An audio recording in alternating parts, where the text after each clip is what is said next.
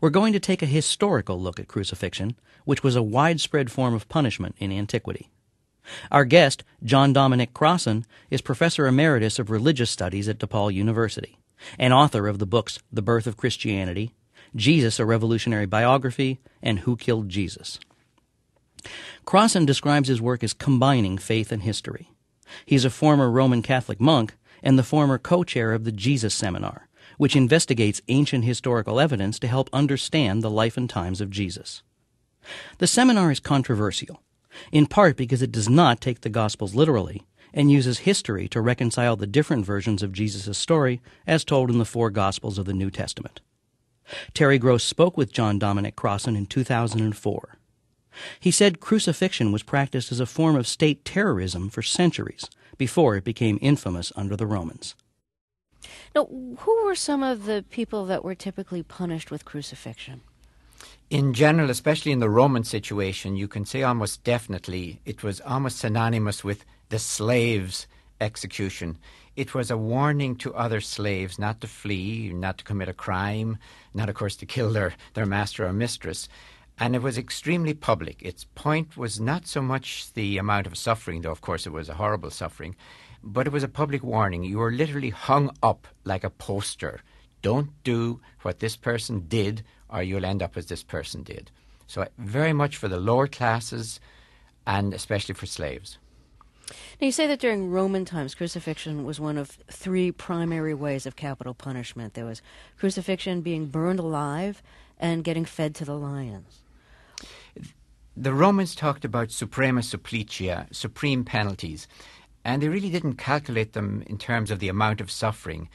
They really calculated them in terms of annihilation. So, being crucified, being fed to the to the beasts, as it were, or being burned alive, the function was there would be nothing left to bury. So even when they were finished with your corpse, the, the relatives, the loved ones, would have nothing to bury. There'd be no tomb where they could mourn, where they could come to grieve, where they could even, say, eat with the beloved dead. They wished to annihilate you and to do it publicly.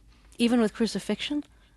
The, the theory behind crucifixion actually was that you would be left on the cross until you were consumed by wild beasts or wild animals. Now, we know, for example, that there was one case in the first century because we have found the heel bone of a crucified person with the nail still in place, and this person was buried, honourably buried. So it is possible, of course. It depends upon whether maybe you could bribe the guards or have enough influence to get the body given to you. Then you could get the body back. But in theory, the purpose of crucifixion was to leave the body there until there was nothing left. Was scourging or whipping usually the first step before crucifixion? In general, scourging preceded crucifixion, and the function of scourging was to reduce resistance. They did not want a person, for example, staggering through the streets with a crossbar, cursing Rome or fighting them all the way. What you wanted, this was public spectacle, what you wanted was somebody reduced to the state that the most he could do was stagger, as it were, to crucifixion, unresisting. So yes, usually scourging would have presumed would have preceded crucifixion.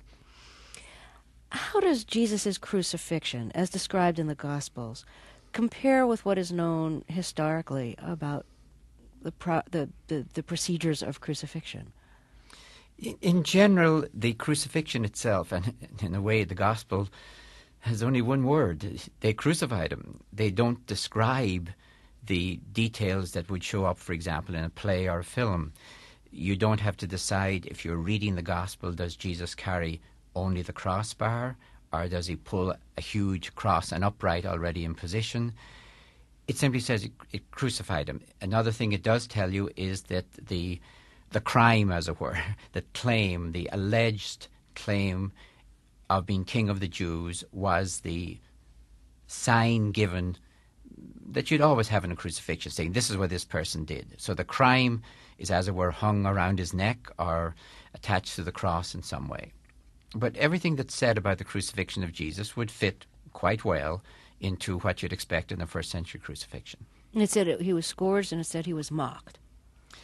The, the, the mocking is, is probably a separate issue and in one sense, the mocking is is terribly ironic because he's been mocked as a pseudo king, and of course, any reader of the Christian New Testament, the Christian Gospel, believes profoundly that he was a king, far more than Caesar was, or or Pilate as a local governor.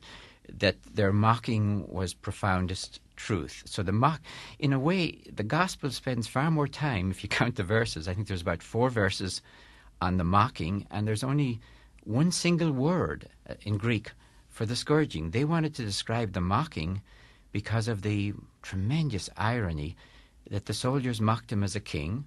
I have no idea whether that is historical or not. They, they certainly could have, but the, the point of insisting on it is the irony that he was being mocked as a king, and of course, we Christians who are reading this gospel believe him most profoundly to be king, not just of the Jews, but of the world. When did the cross become a symbol of Christianity? Very, very, very, very slowly and cautiously. In the time before Constantine, that is, before the beginning of the fourth century, when Christianity became more or less the official religion of the Roman Empire, you have very, very many mentions, of course, from Paul's letters on of the cross, of the crucifixion. But you don't see pictures of it. The very earliest one we have, actually, of the crucifixion is again, it's, we're back to the mocking. A page in the Palatine Palace in Rome was mocking a fellow page who apparently was a Christian. His name was Alexamenos.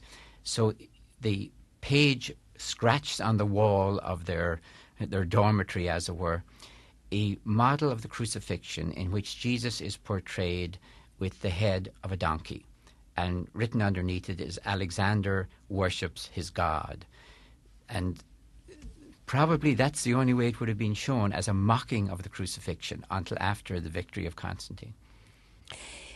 Have you thought about if so many people were crucified, if it was such a common form of execution, why did that become the symbol uh, for Jesus Christ?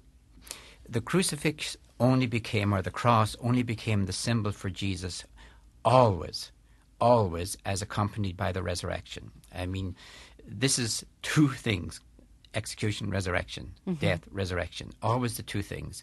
Because, of course, the point is that Jesus was officially, legally, publicly executed by Rome. It wasn't that Pilate made a mistake or that Pilate simply was rounding up people and he, he grabbed Jesus by, by mistake. Jesus was executed by the normal see of the civilization of his day. Then, of course, when you say that God raised Jesus from the dead, you've got two things on a collision course. Rome crucified Jesus. God raised Jesus. Then the inference is very clear. This God we're talking about is on a collision course with Rome because God had, as it were, countermanded the official decree of Rome. And so if you take away the, the resurrection, then the crucifixion becomes almost meaningless, or you have to get into another theology in which the crucifixion is, is the center of Christianity all by itself. When, when, when you, as, a, as someone who studies the historical Jesus, think about the resurrection, do you think about it as metaphor or as actuality? I think of it I would not make the distinction of metaphor or actuality. I would make the distinction of metaphor or literal, because metaphors can be very actual. For example, the metaphor for me is that to claim resurrection for Jesus, and I can leave it completely, whether you take it metaphorically or literally, either way, what you are claiming is that something has happened here which is going to change the way the world sees everything. And I think that is right because the claim you're making is that God has reversed the normalcy of civilization. And that's why it's very important for me to insist that Pilate, from his point of view, got it right. He, he looked at Jesus. He said, This person resists our law and order, as it were, not a violent resistor, or I'd have rounded up all his followers like I rounded up Barabbas's. But yes, he resists us, and therefore he must be publicly executed. Now, to say that God has reversed that decision puts God on a collision course with the normalcy of civilization. That, I believe, is actual, because I believe in what happened at the death of Jesus is that we were confronted with a warning that violence is going to destroy us. We got a warning that if you do not resist evil nonviolently, violence will destroy us. I think something did happen because that was a warning, and we have not been heeding it for 2,000 years. With, with the resurrection, do you think that there was some kind of um, physical transformation that happened to the actual body of Jesus? No, I don't. I am completely convinced that Jesus had told people bef- before his death that the kingdom of God has already arrived and that we have begun to participate with God in what I'm going to call the great cleanup. The fancy word for that is eschatological consummation. The great cleanup of the world, the attempt to make it a just place. I am absolutely certain also, historically I'm speaking, that people had visions of Jesus after his execution. They had visions, I'm not saying they are not hallucinations. They are visions, they are apparitions of Jesus when they put those two things together, they said, then Jesus has risen as the beginning of the general resurrection. That's the only thing the word could have meant to them. It's not a personal, private privilege for Jesus. He has risen as the head of those who have died before him and as the promise of those who will die after him. I take that metaphorically. I do not take it actually. I do not think all around Jerusalem on Easter Sunday morning there were hundreds of empty tombs. And I don't think the people who believed in the harrowing of hell ever suggested, let's go out and check the tombs of the prophets to see if they're gone. I think they knew quite well what they were saying. They were saying something which they took metaphorically and which we take literally. And I think we've kind of lost the actuality. I know that you've seen Mel Gibson's movie, uh, The Passion of the Christ, and I, am I'm wondering if you could give us your short review of how the Jesus story is told in the movie. Basically, there's a couple of things that, that any passion story or passion drama does. You take the four Gospels, and there are four of them, by the way, and you reduce them to one.